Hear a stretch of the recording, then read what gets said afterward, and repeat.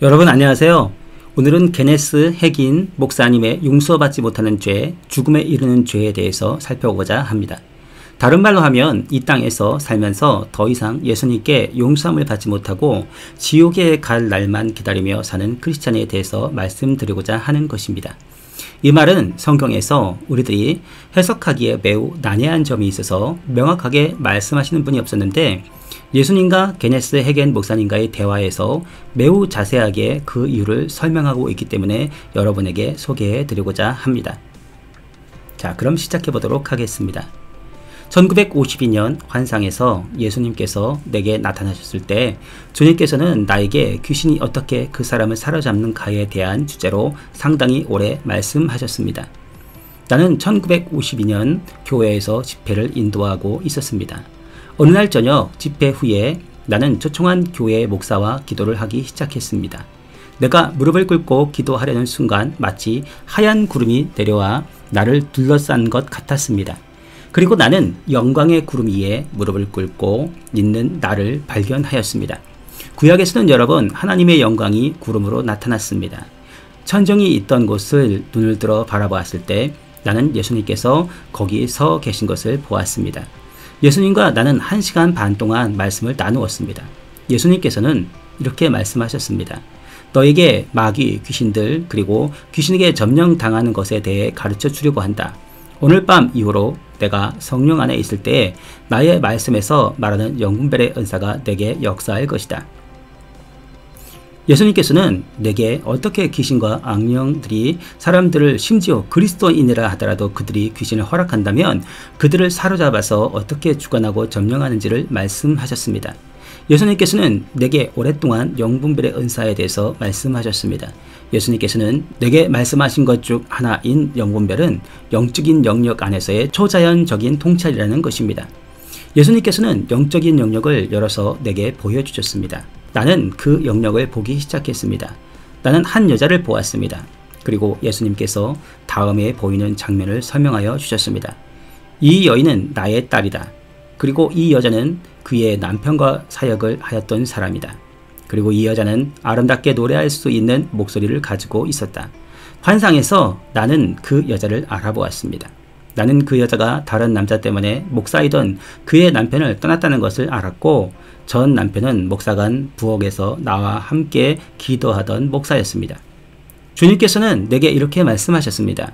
여인은 나의 종이었다. 그의 남편은 목사였고 그 여자는 남편과 같이 사역을 하였었다. 그러다가 마귀가 그 여자에게 다가왔다. 그리고 예수님께서는 설명하실 때 나는 작은 도깨비 같은 것을 보았습니다. 이것은 거의 작은 원숭이 같았습니다. 나는 이것이 와서 그 여자의 어깨 위에 앉아서 그 여자에게 속삭이는 것을 보았습니다. 예수님께서는 계속해서 말씀하셨습니다. 악한 영이 이 여자에게 속삭였다. 너무 아름다운 여인입니다. 당신은 인생을 도둑질을 당한 것이죠. 당신은 정당한 대우를 받지 못했습니다. 당신이 세상에 나가면 명성과 재산과 인기를 누렸을 것입니다. 예수님께서는 계속 말씀하셨습니다. 여자는 마귀가 그런 생각들을 자신에게 주고 있는 것을 알았다. 그래서 그 여자는 이렇게 말했다. 사단아, 내 뒤로 가라. 그리고 나는 그 작은 귀신이 뛰어내려 그 여자를 떠나는 것을 보았습니다. 예수님께서는 아직도 이렇게 말씀하시며 설명을 하셨습니다.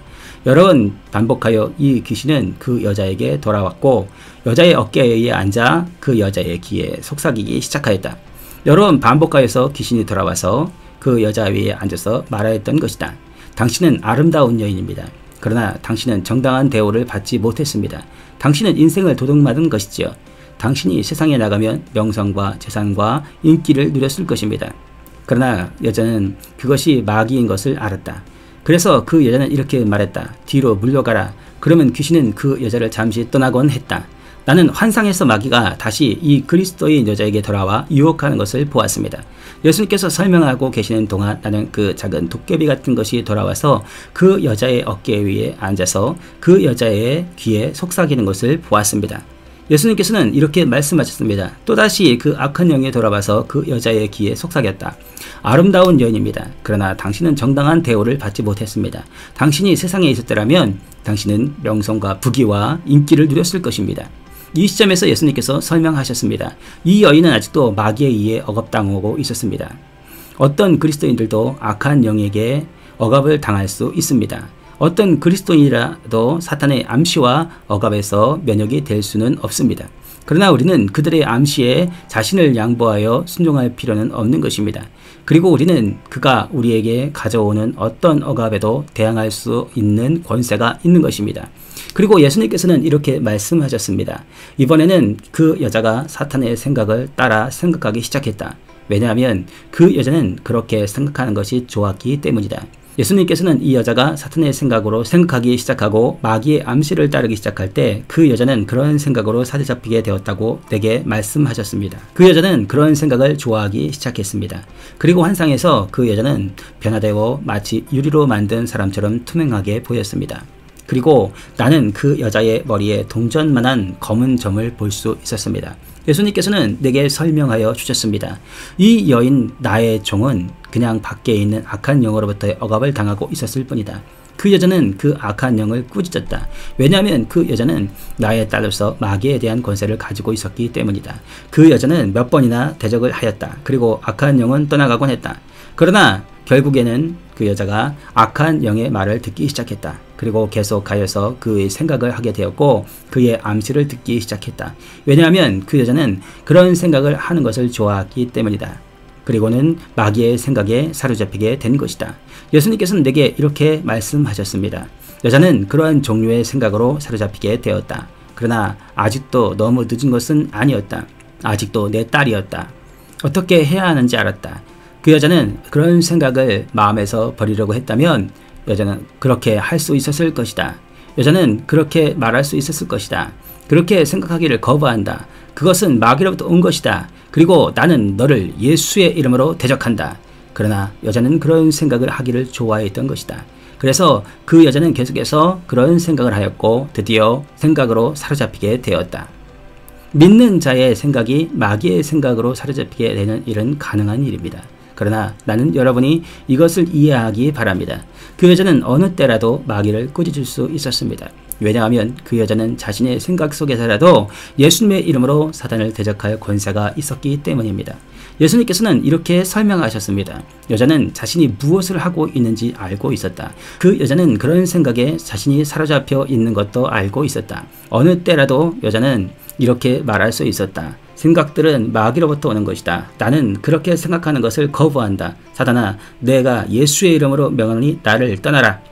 그렇게 했다면 사단은 그 여자에게 순종했을 것이다. 그러나 그 여자는 생각하기를 좋아했다. 그래서 그 여자는 계속하여 정당한 대우를 받지 못했다. 내가 세상에 있었다면 명성과 부귀와 인기를 누렸을 것이라고 생각했던 것이다. 예수님께서는 또 설명하셨습니다. 여자가 마귀가 말하는 것을 듣고 그 생각을 받아들이기 전까지는 그 여자는 잘못된 것이 아니다. 결국 그 여자는 남편을 버리고 다른 남자와 결합하였다. 그 남자로부터 그 여자는 또 다른 남자에게로 갔다. 그리고 그 남자로부터 또 다른 남자에게로 갔던 것이다. 남자를 다섯 명이나 거쳤으나 그 중 누구하고도 결혼을 하지 않았다. 그들과 같이 살았을 뿐이다. 예수님께서는 이렇게 말씀하셨습니다. 아직도 너무 늦지 않았다. 만일 회개하고 내게로 와서 구한다면 나는 용서하였을 것이다. 그녀는 마귀를 쫓아내 줄 사람이 필요 없었다. 혼자서도 할 수 있었던 일이었다. 그리고 환상에서 나는 특정 순복음 교단의 지도자가 호텔로 가는 것을 보았습니다. 환상에서 나는 호텔 밖에 서 있었습니다. 나는 그 호텔의 이름을 보았습니다. 그리고 나서 나는 그 순복음 교단의 지도자와 함께 호텔 내부로 들어간 것 같았습니다. 그의 안내 창고로 가서 그 호텔에 아무개 부부가 등록되어 있는지에 대해서 물었습니다. 그들은 등록되어 있었습니다. 그 여자가 그 남자의 부인으로 등록이 되어 있었던 것입니다. 그 교단의 목사가 그들의 호텔 방으로 올라갔습니다. 그리고 환상에서 나는 영으로 복도에 서 있었습니다. 그 목사는 문을 두드렸습니다. 그 여자는 문을 열기 위해 거의 옷을 입지 않은 상태로 나왔습니다. 그 여자가 문을 열었을 때에 그녀는 그 목사를 알아보았습니다. 그 여자는 이렇게 말했습니다. 당신이 왜 왔는지 압니다. 그 목사는 그 여자를 회복시키고 같이 기도하여 하나님께로 돌아가고 남편에게로 돌아가게 하려고 온 것입니다. 그 여자는 이렇게 말했습니다. 나는 예수 그리스도에 관하여 할 말이 없습니다. 지옥에나 가라고. 그리고 그 여자는 그 목사의 면전에서 문을 닫아 버렸습니다. 예수님께서는 내게 이렇게 말씀하셨습니다. 여자는 나를 더 이상 원치 않았다. 만일 그 여자가 지나치게 유혹을 받았거나 큰 유혹 중에 화가 나서 예수님을 원치 않는다고 말했다면 나는 그것을 너그럽게 보고 그녀를 용서하였을 것이다. 그러나 그녀는 자신이 무엇을 하는지 분명히 알고 있었다. 그 여자는 의지를 가지고 신중하게 예수님을 원치 않는다고 말한 것이다. 그리고 그 여자가 그렇게 말했을 때 나는 그 여자의 머리에 있던 50원짜리 동전 크기만한 검은 점이 머리에서 가슴으로 내려가 그 여자의 심령에 들어가는 것을 보았습니다. 그리고 예수님께서는 내게 이렇게 말씀하셨습니다. 그 여자는 마귀에 의해 점령되었다. 여자는 남편과 함께 사역을 한 20년간 했습니다. 그 여자는 유아기의 그리스도인이 아니었습니다. 그 여자는 처음에는 억압을 받았고 사로잡힘을 받았던 것입니다. 그러나 여자가 성숙한 그리스도인으로서 의지를 가지고 신중하게 그리스도를 부인하였을 때 그 여자는 그 귀신에게 점령을 당했던 것입니다. 그러나 그 여자의 허락을 통해서만 귀신에게 점령 당할 수 있었습니다. 그리스도를 부인했을 당시 여자는 더 이상 그리스도인이라고 불릴 수가 없었습니다. 나는 예수님께 이렇게 말씀드렸습니다. 왜 이것을 내게 보여주십니까? 주님께서 내게 그 귀신을 쫓아내기를 원하십니까? 예수님께서는 이렇게 대답하셨습니다. 너는 그 마귀를 그 여자에게서 쫓아낼 수가 없다. 그녀가 마귀가 떠나는 것을 원치 않기 때문에 아무도 마귀를 쫓아낼 수 없다. 그녀는 그것을 원한단다. 아무도 너도 교회 장로들도 다른 믿는 자들도 이 땅에서 아무도 인간의 영에게 권세를 행사할 수 없다. 내가 지상에 있었을 때 나는 악한 영에게 권세를 행사하였다. 그러나 인간의 영에는 권세를 행사하지 않았다. 하나님 아버지께서도 인간의 영에는 권세를 행사하지 않으신다. 교회 안에 믿는 자들도 악한 영과 귀신에게 권세를 행사할 수 있다. 그러나 어떤 인간이라도 그러한 상태에 남아 있기를 원한다면 어떤 사람도 아무 일도 할 수 없는 것이다. 그냥 그대로 두어야 하는 것이다. 만일 여자가 마귀를 가지고 있는 것을 좋아하면 그대로 지내야 한다. 그리고 너는 악한 영을 그녀에게서 내쫓을 수 없는 것이다. 원하는 자는 값없이 생명수를 받으라. 사람은 자유의지가 있어서 이 땅에서 마음대로 선택할 수 있다. 하나님께서는 사람의 의지를 무시하지 않으십니다. 예수님께서 설명하시기를 만일 그 여자가 그리스도를 부인하기 전에 자유로워지기를 원했다면 내가 예수님의 이름으로 그 여자의 몸이나 마음에서 그러한 영들을 쫓아낼 수 있었다고 하셨습니다. 그렇지만 그 여자도 언제든지 원하기만 하면 마귀를 다루고 꾸짖을 수 있었다라고 말씀하셨습니다. 그러나 그 여자가 자유로워지기를 원하지 않았기 때문에 아무도 그 여자를 도와줄 수 없었다는 것입니다. 물론 성숙한 그리스도인으로 그 여자가 그리스도를 부인한 후에 그 여자에게서 악한 영을 쫓아내는 일은 더 이상 가능하지 않았습니다. 어떤 주인을 섬 것인지 선택하였고 그 여자는 마귀를 선택하였던 것입니다. 나는 예수님의 기도하지 말라는 말씀을 듣고 매우 놀랐습니다. 여러분은 사람들을 위해 기도하지 말라는 말을 들어본 일이 있습니까? 나는 말씀을 고지식하게 믿는 사람입니다. 만약 어떤 사람이 무슨 말을 하면 나는 그가 누구든지 상관없이 그것을 말씀에서 찾으려고 합니다. 나는 예수님께 말씀을 드렸습니다. 주님, 나는 그런 일을 들어본 적이 없습니다. 이것도 예수님께서 대답해 주셨습니다. 나의 말씀에 이런 것을 읽어본 적이 없느냐? 형제가 사망에 이르지 아니하는 죄 범하는 것을 보고는 구하라. 그리하면 사망에 이르지 아니하는 범죄자들을 위하여서 그에게 생명을 주시리라. 사망에 이르는 죄가 있나니 이에 관하여 나는 구하라 하지 않노라. 요한일서 5장 16절 말씀입니다. 이것을 읽어본 일이 없느냐? 예수님께서 이렇게 말씀하셨습니다. 죽음에 이르는 죄가 있으며 성경은 그것을 범죄한 자를 위해 기도하지 말라고 하였다. 사람이 죽음에 이르는 죄를 지었는지 안 지었는지 하나님께서 신령한 계시로 보여주지 않으면 알 수 없습니다. 나의 사역 중에 세 번 주님께서 어떤 사람들을 위해서 기도하지 말라고 하셨습니다. 왜냐하면 그 남자나 그 여자가 죽음에 이르는 죄를 범했기 때문입니다. 이 여자는 주님께서 나에게 그렇게 말씀하신 첫 번째 사람이었습니다. 왜냐하면 이 여자는 용서받지 못할 죄, 즉 죽음에 이르는 죄를 지었기 때문입니다. 나는 주님께 아직도 만족스럽지 않다는 말씀을 드렸습니다. 나는 이렇게 말했습니다. 예수님을 내 눈으로 보고 있더라도 당신이 하시는 말씀이 성경으로 증거될 수 없다면 환상이나 경험으로는 받아들이지 않겠습니다. 당신이 다른 성경 구절을 주어 내가 이 여자를 위해 기도하지 말아야 되는 것을 증명해 주지 않는다면 받아들일 수가 없습니다. 나는 예수님께 두세 증인의 입으로 말마다 확정하게 하라라는 마태복음 18장 16절의 성경 구절을 상기시켜 드렸습니다. 예수님께서는 다음에 성경 구절을 주시고 나와 같이 토론하기 시작하셨습니다. 한번 빛을 받고 하늘의 은사를 맛보고 성령에 참여한 바 되고 하나님의 선한 말씀과 내세의 능력을 맛보고도 타락한 자들은 다시 새롭게 하여 회개케 할 수 없나니 이는 그들이 하나님의 아들을 다시 십자가에 못 박아 드러내놓고 욕되게 하려 함이라 히브리서 6장 4절에서 6절 말씀 예수님께서는 그리스도인이 죽음에 이르는 죄를 범하는 것에는 이 구절에서 말하는 다섯 가지 조건이 모두 그 사람에게 적용되어야 한다라고 말씀하셨습니다. 첫째는 이렇게 말씀하고 있습니다. 한번 빛을 받고 히브리서 6장 4절 예수님께서는 그 당시에 많은 사람들이 죄의 자각이라고 불렀던 것을 말하고 있다고 합니다. 하나님의 말씀을 설교하면 죄인들에게 빛을 조명하여 줍니다. 이것은 마치 탕자가 스스로 돌이킨 것과 같은 것입니다. 누가복음 15장 17절. 하나님의 말씀의 설교를 통해서 죄인은 그가 잃어버린 죄인이라는 것을 깨닫게 되는 것입니다. 그는 하나님의 말씀의 진리의 빛을 받고 그가 구세주가 필요하다는 것을 알게 되는 것입니다. 두 번째로 히브리서 6장 4절은 하늘의 은사를 맛보고 라고 말씀합니다. 예수님께서는 죄의 자각을 한 사람은 아직 하늘의 은사를 맛보지 못했다고 말씀하셨습니다. 예수님께서는 하늘의 은사이시기 때문입니다. 예수님께서는 요한복음 3장 16절을 인용하셨습니다. 하나님이 세상을 이처럼 사랑하사 독생자를 주셨으니 이는 그를 믿는 자마다 멸망하지 않고 영생을 얻게 하려 하심이라. 그래서 은사를 맛보는 구원을 말씀하고 있는 것입니다. 예수 그리스도를 구원자로 받아들이는 것입니다. 그리고 셋째는 참여한 바 되고 히브리서 6장 4절입니다. 예수님께서는 이것을 거듭난 것 이상이고 속에 내재하시는 성령님의 임재로 성령님과 개인적으로 알아진 것을 말한다고 말씀하셨습니다. 요한복음 14장 16절에서 17절. 이것은 성령 충만 즉 성령 세례를 받은 것을 말합니다. 사도행전 1장 5절, 사도행전 2장 4절. 그리고 넷째는 하나님의 선한 말씀을 맛보고 히브리서 6장 5절입니다.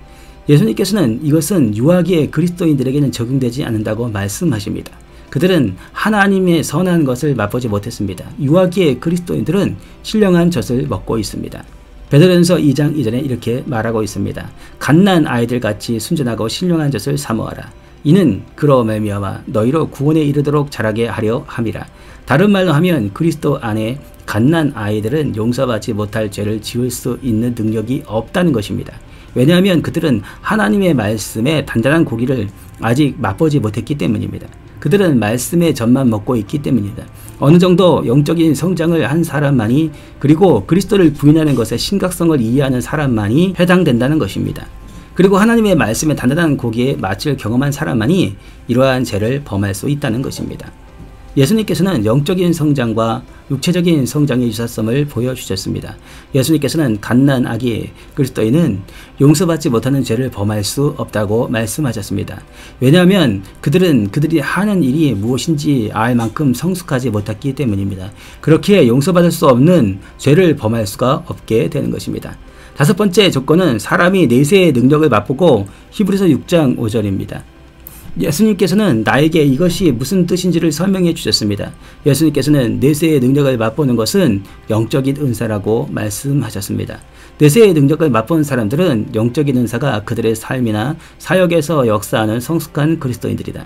예수님께서는 성령 세례와 그 결과로 주어지는 은사들은 오는 세상에 우리의 성실한 유산이라고 말씀하셨습니다. 에베소서 1장 13절, 14절, 고린도후서 5장 5절, 그러므로 믿는 자들이 용서받지 못할 죄를 범하기 전에 갖추어야 할 다섯 가지는 성경적인 조건이 있습니다. 당신은 아주 적은 숫자의 믿는 자들이 이러한 죄를 지을 수 있는 조건이 된다는 것을 알 것입니다. 예수님께서는 환상에서 본 그리스도를 부인한 그 여자가 용서받지 못할 죄를 범한 조건을 갖추었다고 말씀하셨습니다. 그리고 예수님께서는 왜 그런지 설명해 주셨습니다. 예수님께서는 그 여자에게 빛이 비추어졌다라고 말씀하셨습니다. 그 여자는 구세주의 필요를 알았습니다. 그리고 그 여자는 천국의 은사를 맛보았습니다. 왜냐하면 그 여자는 거듭났기 때문입니다. 예수 그리스도는 오랫동안 그 여자의 구세주였습니다. 그 여자는 또 성령으로 충만함을 받았습니다. 그 남편과 함께 오랫동안 사역을 해왔습니다. 그 여자는 하나님의 말씀을 알았습니다.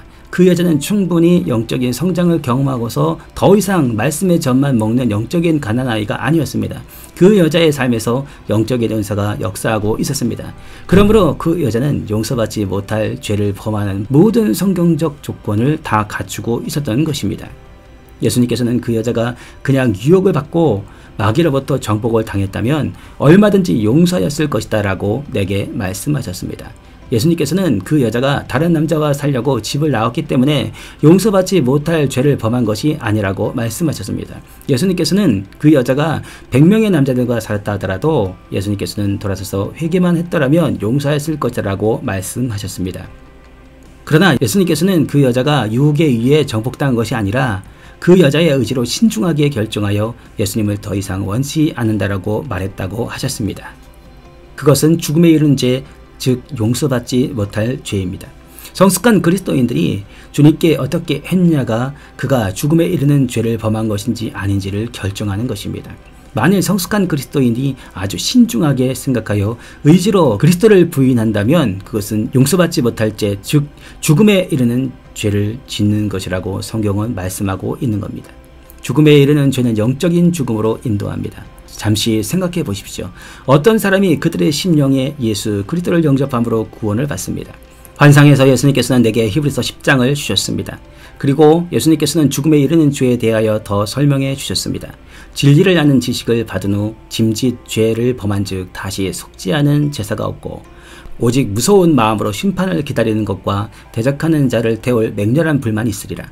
모세의 법을 폐한 자도 두세 증인으로 말미암아 불쌍히 여김을 받지 못하였거든. 하물며 하나님의 아들을 짓밟고 자기를 거룩하게 한 언약의 피를 부정한 것으로 여기고 은혜의 성령을 욕되게 하는 자가 당연히 받을 형벌이 얼마나 더 무겁겠느냐. 너희는 생각해라. 히브리서 10장 26절에서 29절. 26절은 이렇게 말씀하고 있습니다. 우리가 진리를 아는 지식을 받은 후 짐짓 죄를 범한 즉 여기에서 죄는 아무 죄나 말하는 것이 아닙니다. 그리스도를 거부하는 죄에 대하여 말씀하고 있는 것입니다. 여기에 이 원칙들은 물론 모든 그리스도인들을 위한 것입니다. 사람들은 용서받지 못할 죄에 대해 성경적으로 이해할 필요가 있습니다. 그래서 마귀로 하여금 사람들이 이용할 수 없게 해야 합니다. 성숙한 그리스도인들이 히브리서 6장에 있는 다섯 조건을 다 만족시키지 못한다면 그리고 의지적으로 하나님의 아들이 혹은 예수를 더 이상 원치 않는다고 말하지 않는다면 그는 이러한 죄를 범하지 않은 것입니다. 갓난아기 그리스도인들은 화가 나서 혹은 성격이 불같기 때문에 혹은 정렬 때문에 그런 말을 했다고 해서 이런 죄를 범할 수는 없다는 것입니다. 이 구절에서 성경은 의지로 의식적으로 하는 결정을 말하고 있습니다.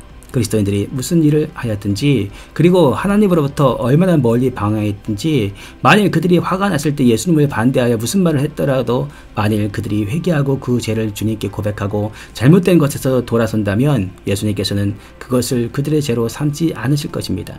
죄는 잘못된 것이기 때문에 죄를 옹호하려는 것이 아니라 믿는 자에게는 그들이 죄를 짓고 잘못했을 때 하나님께서 준비해 놓은 것이 있는 것입니다. 요한일서 1장 9절. 그렇기 때문에 당신이 하나님과 교제에서 멀어졌다면 당신은 될 수 있는 대로 빠른 시일 내에 주님과의 교제로 돌아와야 합니다.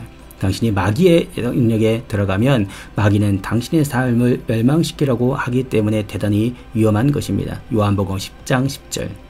그렇기 때문에 하나님과 같이 동행하기를 원하면서 고의적으로는 아니지만 가끔 넘어지고 죄를 짓는 믿는 자들과 또 의지적으로 신중히 그리고 시속적인 죄를 짓고 의도적으로 하나님으로부터 떠나 하나님을 부인하는 자들과는 큰 차이가 있는 것입니다.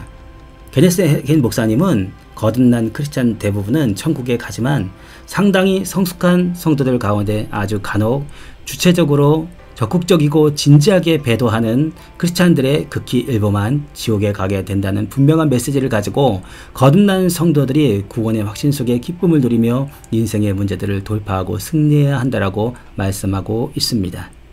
사랑합니다. 감사합니다.